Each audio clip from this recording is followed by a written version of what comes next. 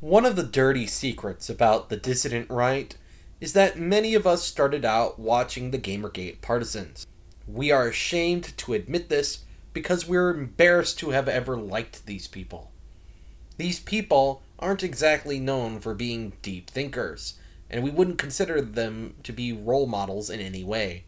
Also, there is a mutual enmity between the various reactionary groups and the old anti SJWs, or skeptics, or liberalists, or whatever they're calling themselves now. Despite our common opposition to the left, we tend to clash with each other more often than not. Perhaps this is why being called a right wing SJW is so annoying. The moment this accusation comes out of someone's mouth, it immediately demonstrates a lack of original thought on the part of the accuser. In this way, anti SJWs remind me of the new atheist skeptic phenomenon. They never argued for any positive worldview, any moral system. Instead, they attack their enemy's worldview while pretending that their position is just the default. They understand neither what they are opposed to nor what they are for. But I suppose I should back up a bit.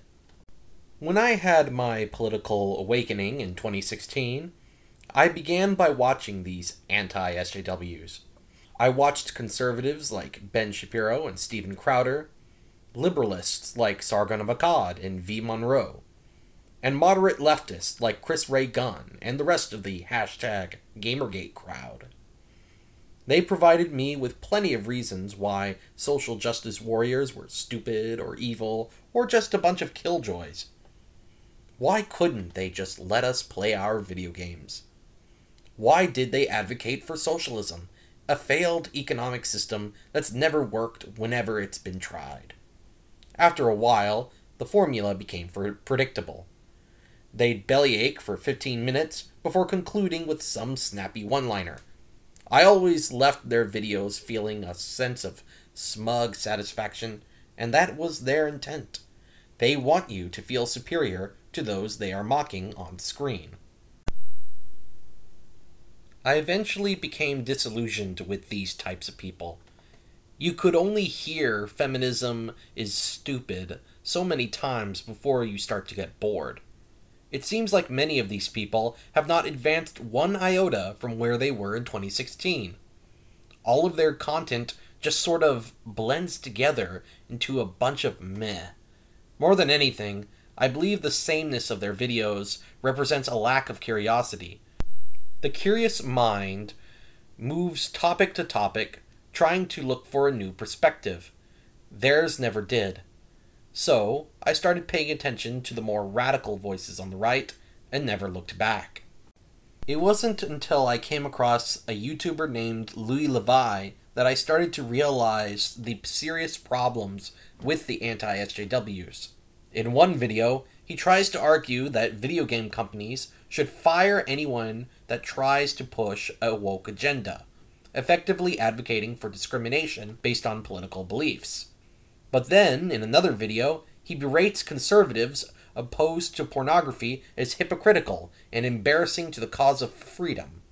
Pot, meet kettle. He berates Carl Benjamin for not defending erotic depictions of underage girls in Japanese media as a matter of free speech. Then he complains about progressives promoting pedophilia. Again, pot, meet, kettle. But his most egregious videos are the ones attacking fence sitters like Chris Ray Gun and Angry Joe, two other YouTubers who dislike wokeness but refuse to comment on politics.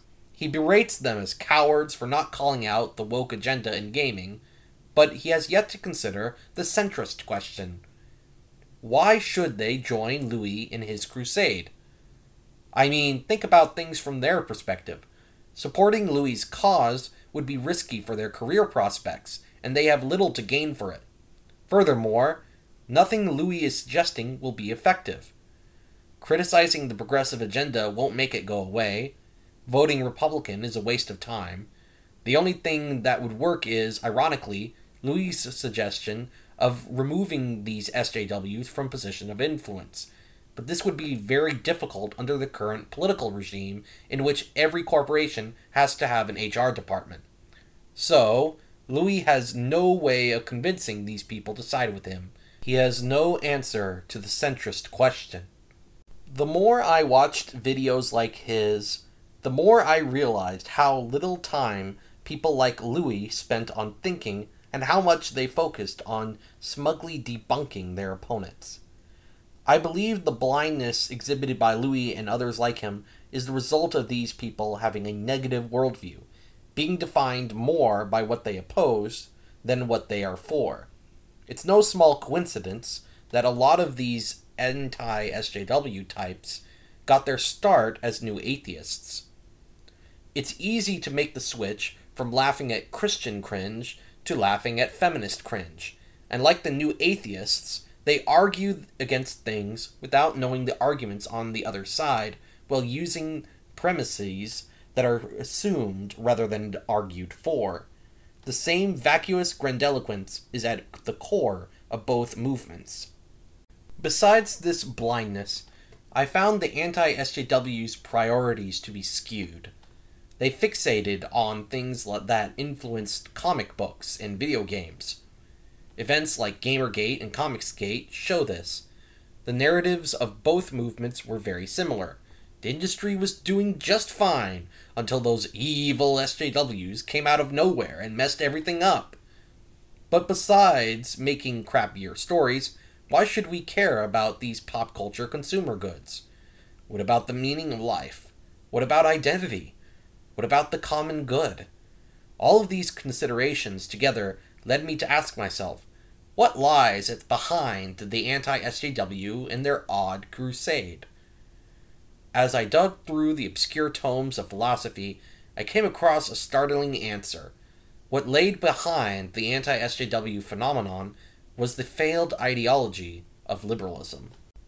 Now, when I say liberalism failed, what do I mean by this? Surely we can see that liberalism everywhere has succeeded. We are surrounded by liberal institutions everywhere we look, right? We even call countries like the United States liberal democracies. Fair enough. Most people believe in the premises John Locke subscribed to, more or less. But in terms of the original philosophy itself, liberalism has become a hollowed out shell. Its foundations are now a pile of sand, ready to be blown away. And I think we can see this in the ideological divide between the anti SJWs and progressive media personalities like Anita Sarkeesian. Now, for most of my audience, Anita Sarkeesian needs no introduction. This woman is infamous on the internet, despite her ever decreasing relevance. Anita Sarkeesian is a feminist YouTuber who is very heavily promoted by progressives in the gaming industry. Her content had a very simple message the sexual objectification of women in video games is wrong because it gives gamers the wrong moral messages, namely, that it's okay to objectify women. Therefore, we ought to remove this morally questionable content and replace it with progressive moralizing.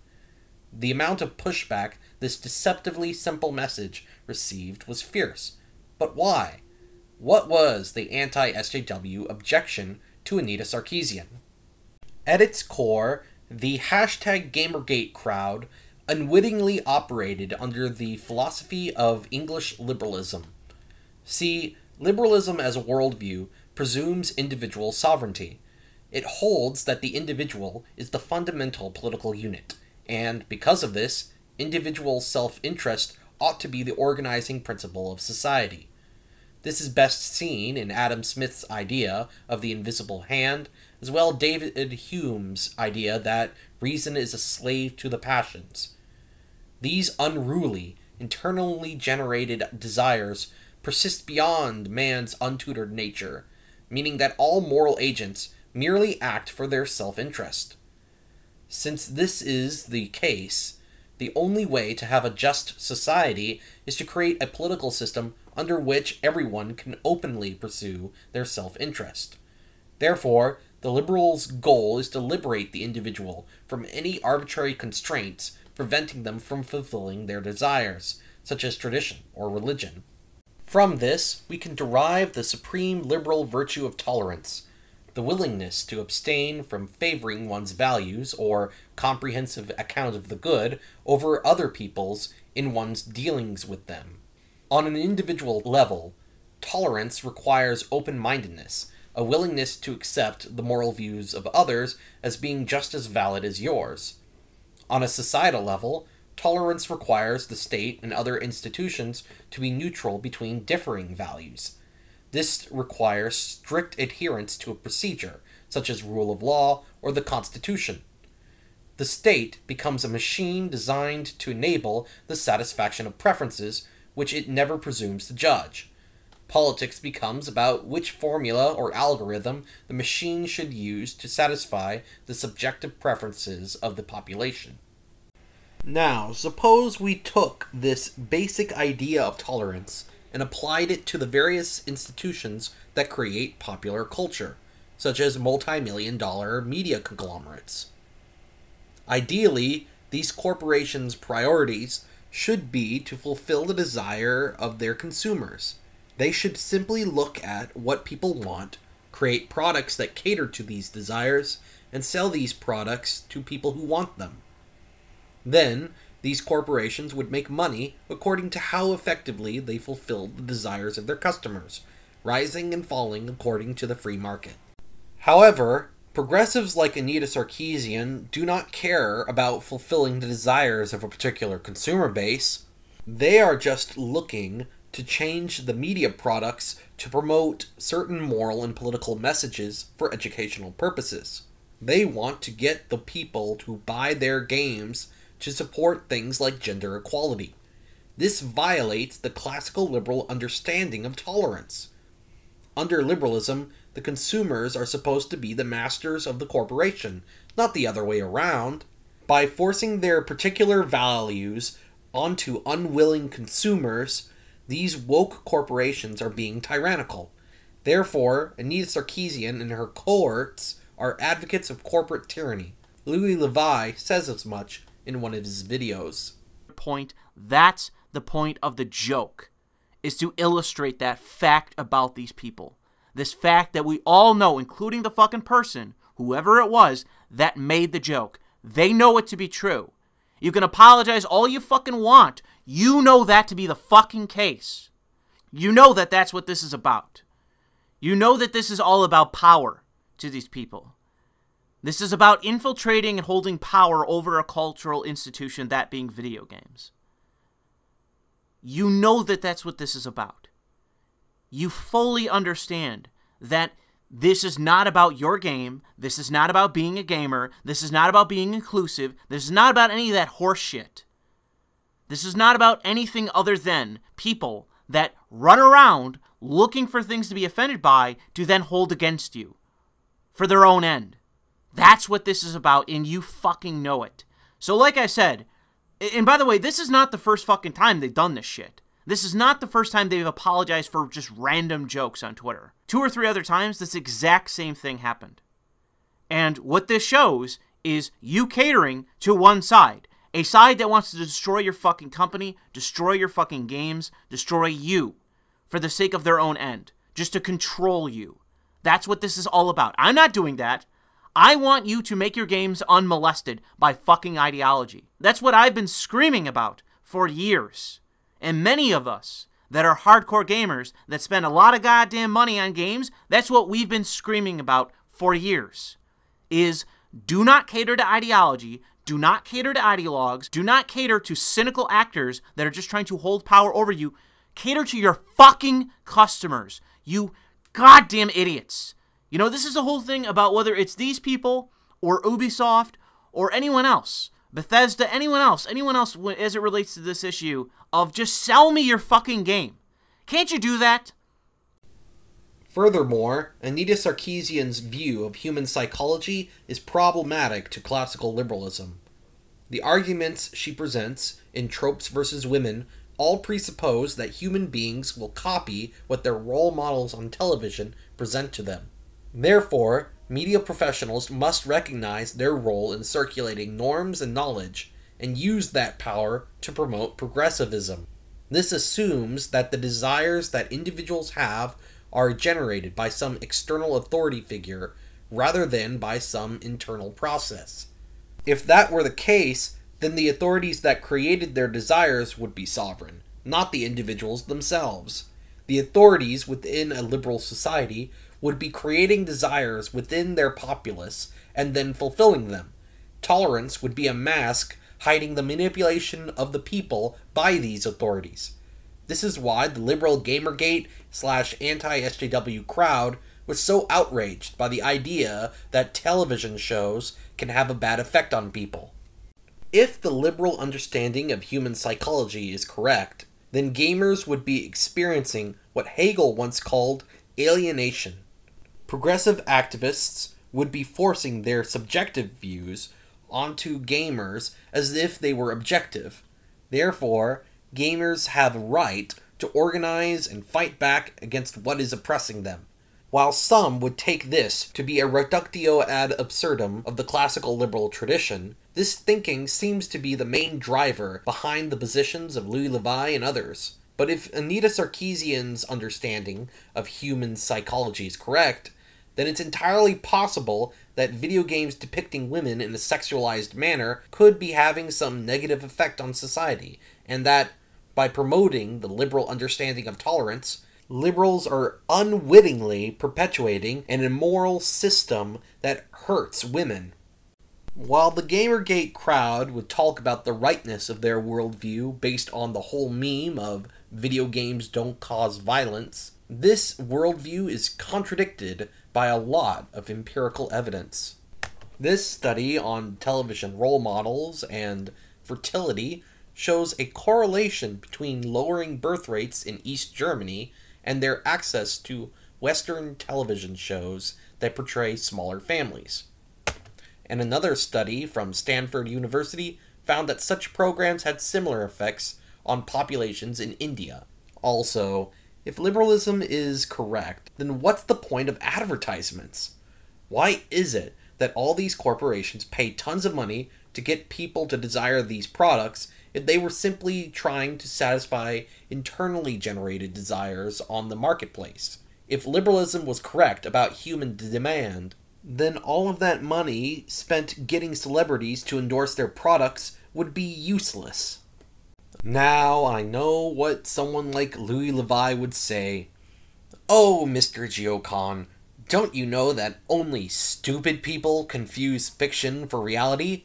Art doesn't affect real life. Right? Right? Well, I'm sad to say that there are a lot of very stupid people out there. There are a lot of people whose views of reality are influenced by television, music, and video games. Media and art can change a person's perception of reality. Playing Grand Theft Auto might not cause people to go out and commit violence, but it will influence how they look at gangsters and criminality in the real world. The data backs this up. No, it would appear that human beings naturally have what the French philosopher Rene Girard called mimetic desire. Mimetic desire, according to him, is the tendency to treat our neighbors as the model for our desires. This understanding of desire is presupposed by the tenth commandment of the Decalogue which can be summarized as You shall not desire your neighbor's goods. In the ancient world, mimetic desire could easily lead to conflict, so pre modern societies had to put strict cultural prohibitions into place to curb it and ensure social harmony. According to Girard, to deny the existence of mimetic desire is to presuppose the total autonomy of individual desire from external influence. To understand that this premise is false, he says, all we have to do is watch two children or two adults who quarrel over some trifle. Authority figures can manipulate our mimetic desire by controlling who we see as our neighbor. In other words, human emotions and desires are governed by norms perpetuated by authorities, not the other way around. The Thomistic philosopher Alasdair MacIntyre put it best. Norms govern the type and intensity of emotional reactions or desires certain individuals should have given their particular circumstance and social role.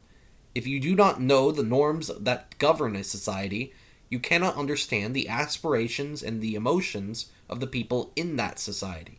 These things are understandable only within the context of a social order.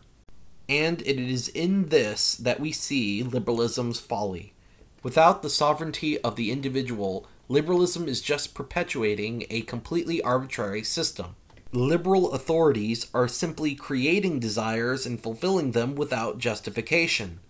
In this circumstance, progressives might have a point when they say that certain video games or comic books may be promoting immorality, and they are certainly correct in their assertion that these media companies have a moral duty that takes precedent over fulfilling their consumers' desires. With this, anti SJWs have no real moral leg to stand on. They would either have to promote some alternative moral framework or embrace a practical nihilism, and I think that's exactly what a lot of them have done, at least concerning video games and comic books. Liberalism failed because it was built on a false understanding of human psychology that, when corrected, turns it into a sick joke.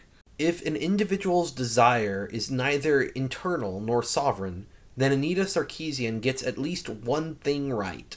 As widely recognized authority figures, media professionals have a direct and pressing role in generating an ethical society that cultivates and directs individual desire towards certain ends. Institutions cannot be morally neutral. They must operate under the assumption that there is a hierarchy of goods. However, progressives are like anti SJWs in that their moral theories privilege selfish desires. As a result, their morals become entirely predicated on things like freedom or equality. But what is freedom but the ability to act as one wishes? And what is equality but the leveling of barriers to obtaining status? In other words, to desire freedom or equality is to desire power. Therefore, whenever Anita Sarkeesian promotes gender equality, she is educating people into desiring power for a specific group, women, so that the people influenced by her advocate for more power for women. Then, this empowered group can pursue what they were taught by Anita Sarkeesian to desire, which is more gender equality, more power for themselves. This is an infinite regress that results in a never ending cycle of power mongering. Some progressives might resort to hedonism as an alternative to traditional notions of good and evil do and pursue what is pleasurable is the mantra of hedonism. But what is a pleasure but the feeling one gets from achieving some desired end? Whether or not the desires in question deserve to be fulfilled is a ridiculous question under this framework. So, when progressives teach people to follow the pleasure principle, they are educating people to desire the fulfillment of their desires, whatever they may be. This causes people to pursue the ability to fulfill their desires power. They will then use this power to achieve more pleasure, which they can only ever obtain by achieving more of their desires. Another infinite regress that results in another never ending cycle. Progressive moral ideals can only make sense under the assumption that individual desire is sovereign. Gender equality would make sense if the desires of women were sovereign and the barriers to fulfilling them were a form of oppression. But if mimetic desire is real, then this system would make power an end in itself. In a healthy moral framework, power would be a means of obtaining the good of the people. But when power is treated as an end in itself, the actual good of the people is ignored. The progressive understanding of human psychology conflicts with their morals. Why is it, then, that progressives promote these illogical views? What practical purpose do they serve? Who benefits from these vicious cycles? Here, we can employ the work of the political theorist Bertrand de Jouvenel. In his book on power, He describes the process by which different power centers in medieval Europe would often employ ordinary people to undermine their rivals. The monarch would make serfs into freemen and undermine the nobility.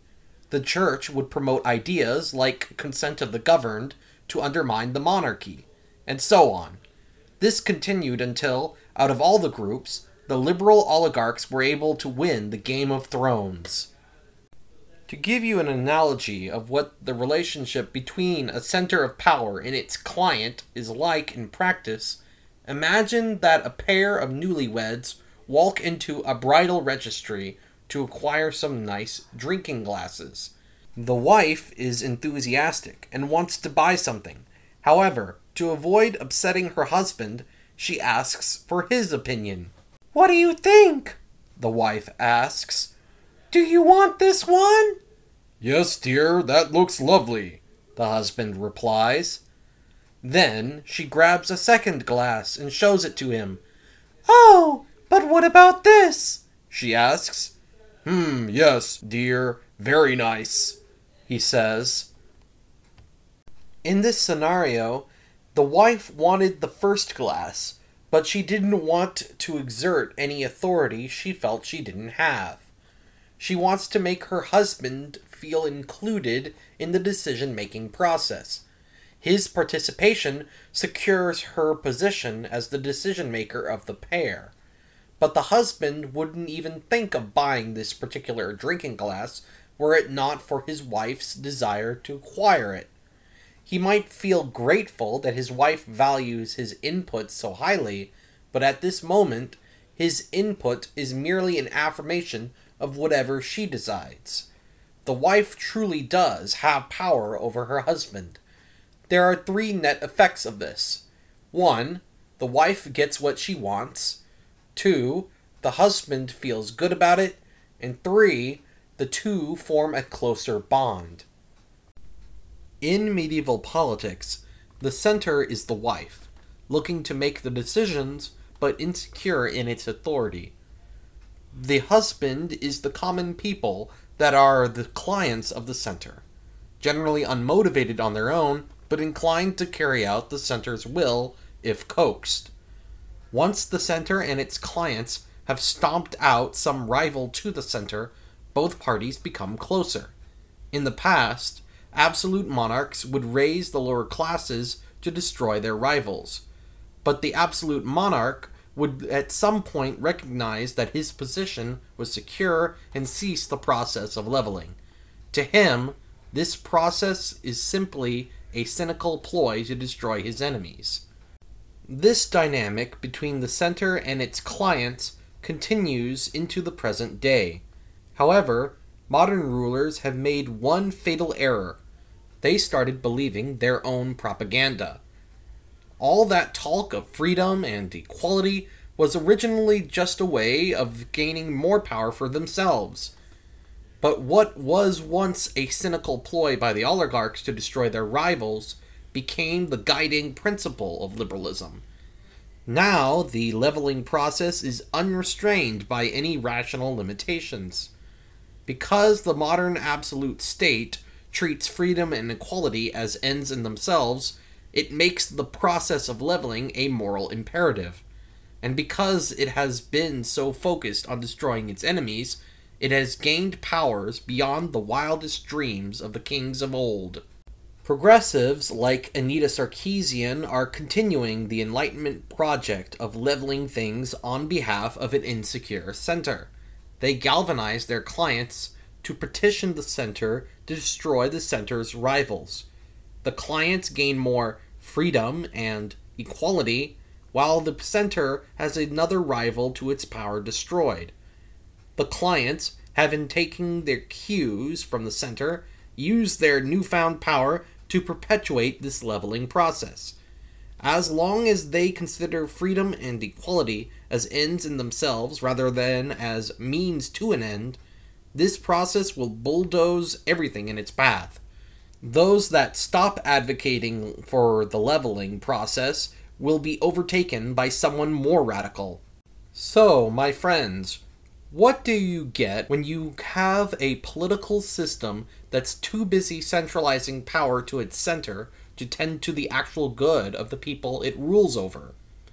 Well, I believe that Tucker Carlson, of all people, provides a glimpse into the result of this process. Selma is a small city in the state of Alabama. Selma is famous because there was a consequential civil rights march there 55 years ago this spring. You hear a lot about the march. But you never hear how the story ended. People in Selma voted, and good, that was the point of the march. And they voted for Democrats. How did that turn out for them? Selma is now the poorest city in Alabama. It is the most dangerous place in the state. It has the highest unemployment rate. More than 40% of the people who live in Selma are poor, they're in poverty. That's a tragedy. It's amazing there is a city like that in this country. Does Kamala Harris care? Has she ever mentioned real life Selma as distinct from Selma the metaphor? Probably she hasn't. And more to the point, what has Kamala Harris done to make Selma better? Come on, you know the answer. Progressive Democrats took control of Selma, and that was the end of the story, because taking control was the whole point. The lives of the actual people who remained there didn't matter, and they still don't. But to Kamala Harris, this is the blueprint for the rest of the country. The champions of civil rights that fought and defeated Jim Crow were advocates of freedom and equality. That is to say, they were trying to destroy the enemies of the center, Southern segregationists, by promoting their clients, black people. As a result, the center's enemies were destroyed, and the blacks got freedom and equality which they use to vote for more Democratic politicians to gain more freedom and equality. Rinse and repeat until Selma turns into a shithole. In a way, Louis Le Vau is right. The progressive movement is, in the end, all about exerting power over everything. This is why they are destroying the video game industry and the comic book industry. This is why they destroyed Selma, Alabama. They are only trying to destroy whatever threatens the power center they've aligned themselves with. But then, so is everyone else who advocates for freedom and equality, including Louis Le Vau. Both the progressives and the liberals will continue this destructive cycle so long as they push for emancipatory politics. A movement opposed to people like Anita Sarkeesian needs to transcend the liberal paradigm. It must recognize that freedom and equality are means to an end. It must advocate for a politics dedicated to goods beyond those that appeal to appetite. It must create a system ruled by reasonable, responsible decision making, not by some unaccountable leveling process. It must break the vicious cycle that has destroyed places like Selma and create a new order. This means that the opposition to these forces cannot be from liberalism. Liberalism treats freedom and equality as ends in themselves no less than progressivism, so it has the same problems. No, the opposition to these forces must be authentically conservative. True conservatism has nothing to do with free markets and limited government. These are liberal ideas. No, an authentic conservatism consists of nothing more than the defense of common understandings and structures of authority embodied in moral communities, the most important of which are the patriarchal family, organized religion, the traditional culture of a local community, and the nation state. To the conservative, these moral communities are not means to an end, but ends in themselves, because they are icons, hierophanies, of the goods they embody.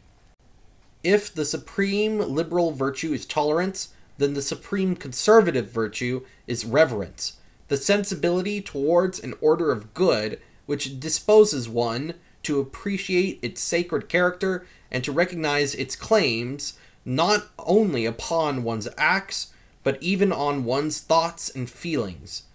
Reverence requires us to promote the virtues that allow each individual to obtain the goods of the community and to defend the community against subversion.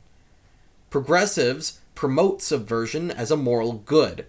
They are a continuation of the Enlightenment liberal project, the project of destroying moral communities on behalf of an insecure center that treats everything outside its grasp as a threat to its sovereignty.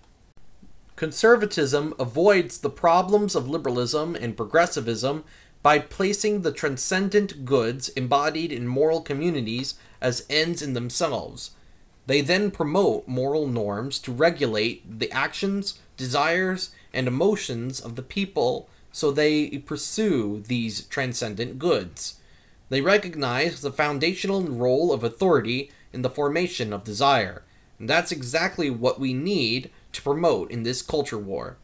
Liberalism, especially the presumed liberalism of anti SJWs like Louis Le Vau, is not the solution. Conservatism is. If you liked this video, please like, comment, share, and subscribe. Have a nice day.